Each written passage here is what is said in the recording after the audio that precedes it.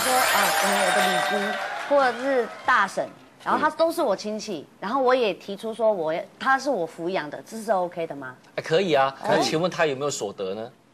有所得就没哎有所有所得的话，就变成你的所得税里面会增加，因为它会你的所得总额会增加呀。加了他的所得。对，所以虽然被你抚养，你有免税额，但是不要忘记了哦，他的所得也会变你的所得，你的所得额增加了嘛。所以刚刚我们要节税的前提是什么？所得额一定要怎么样？下降，免税额要怎么样？增加。这是一个跷跷板的状况，不是通通纳入你家里，就他们都有所得，但你所得额增加没有。那所以是说我的亲戚如果他现在是没有工作的，然后其实真的是我在抚养的事实的话，我就可以接到这个。是，对个人的那个免税额的部分。不过我们现在报税是不是急剧今年有一点调整？而有的过去里面是六七八九十，而现在改过了。什么叫六呢？最少是以前是六个 person，Yeah 第二级去七的话，六加七的话是三 person，现在变喽哦，现在变成从五趴开始啦。今年可就已经全部变成五个就 person 6%了降一趴对，五个 person 哦了。所以的五呢，第二阶的话是到底是个十二趴，对就得七啦对13。第三阶的话就第第三阶的话就等于八啦，二十一所以就等于七八十十了。大家都用这个吗？可是我记得好像这个啊，没有，我记得以前哈，是。好像在早几年的时候，我们报税，我不知道我记忆有没有错，艺人的报税的税率就是比一般所得要高。对，好像是现在还是吧，好像是这样子我现在还是我跟大家说明啊，艺人呢是基本上所谓的执行业务所得。对对那执行业务所得呢是扣掉呃你的必要费用，所以现今年来看呢是所有的所得里面真正不是那个叫所有的所得，你已经所有的费用扣掉，扣多少呢？就扣你的这个真正要算你的所得乘以百分之四十五。我举个例子，今年去年度我赚了一百万 Yeah 对我真的要交税的额度是多少呢？45万。四十五万。其实不是只有艺人啦，只要大家如果是都执行业务所得，就是用这种啊，对，方式但执行业务所得有特定的职业、特别的身份啊，比如说代书啦、律师啦、医师啦，这种专门技术人才，不是薪资所得的，好，不是薪资所得的，那才有变成执行业务所得里面来报。对。啊，就是说他在执行业务所得那一栏里面，你的当年度的所得，郭仁好的所得是是。一百万，是。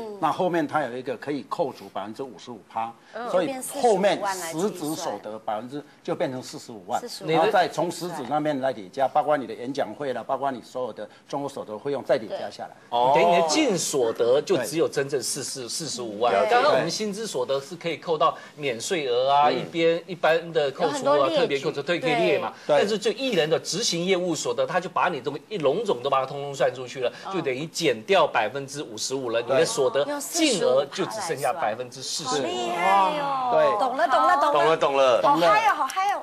对，那刚刚我们在讲到的是抚养亲属的这个部分。对嗯一般来讲，你的岳父岳母都可以，你的爸爸妈妈都可以，你的亲戚都可以。对但是要注意一下，如果你兄弟很多，对嗯有如果两个人一起报的话，嗯先报的先嗯。我我懂，比如说报抚养是吧？因为妈只能到时候一个人报对就对了对对对，岳父岳母也是一样啊，可能你跟你的兄弟在争啊，所以要猜拳对，那最好就事先讲好，今年你报明年我报没有没有，事先讲好。谁的税率高就给谁报，对。比较有利。对。那这样的话呢，你甚至来拿一拿一点钱，请你的兄弟姐妹吃一顿还划算。那请问一下引起哦，这个一般来讲，这种申报抚养，嗯，那有申报跟没有申报差很多。对，我们可以举很实际的例子来看，大家一看就一目了然。是现在很多老人家说，到每年一通电话最热门的时间就是在报税报税前，对因为这个时候才会打电话回去问，对？所以妈妈有没有？对，有没有人在申报你？对，所以大家其实平常就要问候了。我们来看一下这个抚养的部分哦。我们举例纪晓晴跟何小文哦。是我们以已婚的纪晓晴来看的话，她抚养人数因为有了个老公嘛，加两个小孩，加上她自己是四个。那刚刚有提到免税额是八万二，是。那么免税额乘以四个人，他免税额总共有三十二万八。对。所以我们是同样以他的所得跟两个所得都是一百万来看哦，两个所得是一样哦，100万。赚一样的钱，一年是赚一样的钱，都赚一百万。哈是。那第二个，我们看何小文只有自己一个人，所以他的免税额只有他自己，就只有八万二。对。我们看最后那一栏，他们两个的有没有差很多？哇，缴的税差这么对，多，纪晓琪只要转缴两万七千四，但是小文却要缴两六万六千零四十。对所以在没有抚养亲属的情况之下，你要缴更多的税。没错对，这就是说你为我们为什么说要去找很多很多的亲戚朋友来当你的抚养亲属？但是可了。是啊，可是，如果亲戚是有收入端的，刚刚所讲那个跷跷板一定要抓好，因为一定会加进来。如果你不对小心，你反而把你的税局那个集聚又垫高，把你反而收入变缴更多的税。多了。不过刚刚有特别一个注意，刚刚不是说到过年这个这个报税期间的时候都会找爸爸妈妈吗？对，很怕一件事哦，有个爸爸妈妈不能乱找，哪一种不能乱找？不能乱找是吧？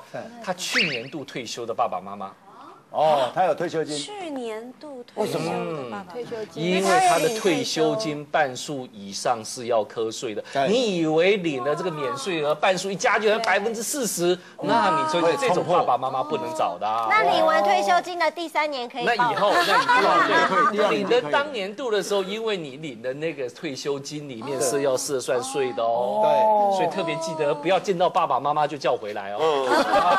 那如果爸爸妈妈的退休金是一年一年领的那哎，，那有一定的额度啊，一定的额度免税，所以要计算清楚，所以要特别记得这件事情。好了好解，，那接下来呢是节税魔法的第二招，是。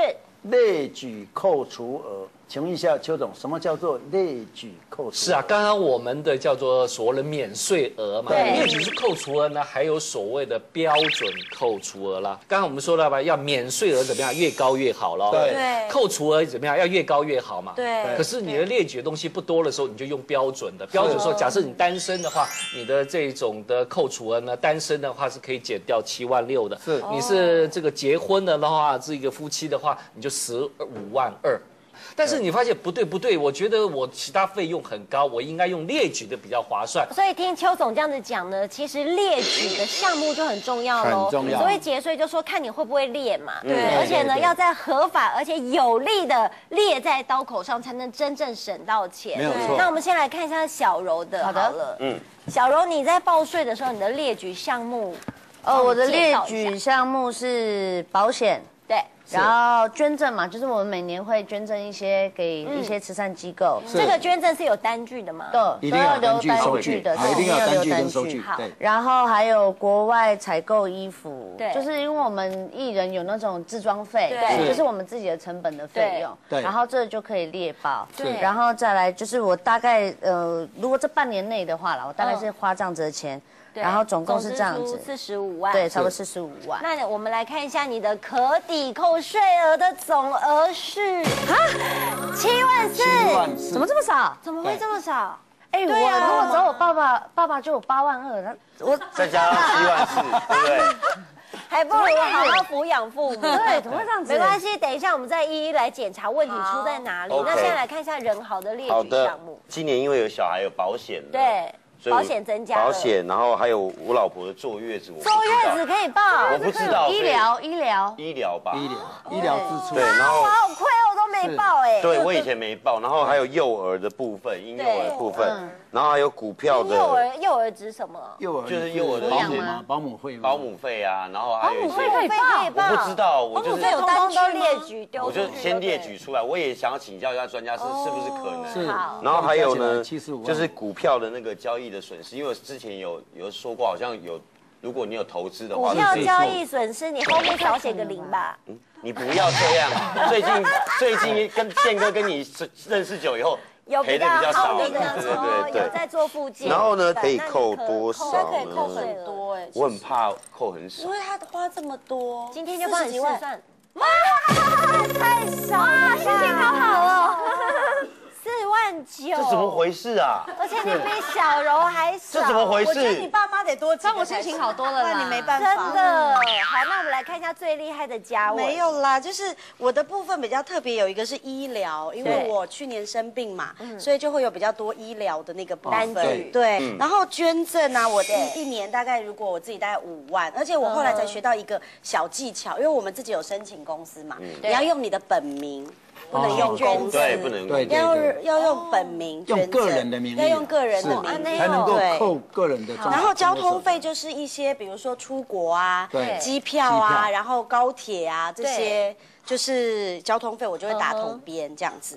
然后衣服才买，我都是我跟柔不一样，我都是在台湾买比较多，就是就这几年都在台湾嘛，所以也就是打统编，所以总支出大概是四十九点四万。嗯，那我们来看一下你可抵扣的税额是多可抵扣的少？税额是啊，好强哦！为什么我们差那么多？因为我有学习啊，我有看节目哦。哎，可是我觉得嘉文跟小柔的差别，因为他们其实列举的项目很像，所以我刚才啊我刚才觉得好奇怪，我们一样都买衣服，是，而且也买差不多，保险跟这个啦，保险也差不多啊。对，可是也未免差太多了吧？七万四跟四5万十九差七，而且我们花的钱其实也差不多。是邱对总，请问一下，同样是衣服的采购，那都是二十万，为什么是嘉文的可以，为什么小楼的不可以？对列举这样对一般人啊来讲，列举的话要注意哪一些特别要注意的？一般这所谓的扣除额里面用列举的话，大概有六大类可以做的。第一个保险可以做的，嗯，可是很遗憾的，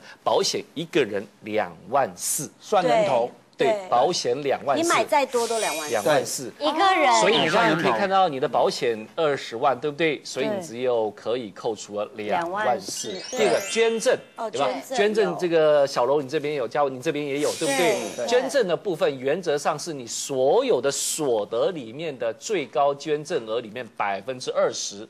哦什么意思？不能超过我举个例20%，我举举例。例，小楼，你去年度里面，假设你现在是赚了一百万，对。你赚了一百万对，那意味着一件事情，你捐出去三十万，对，对，那占了多少？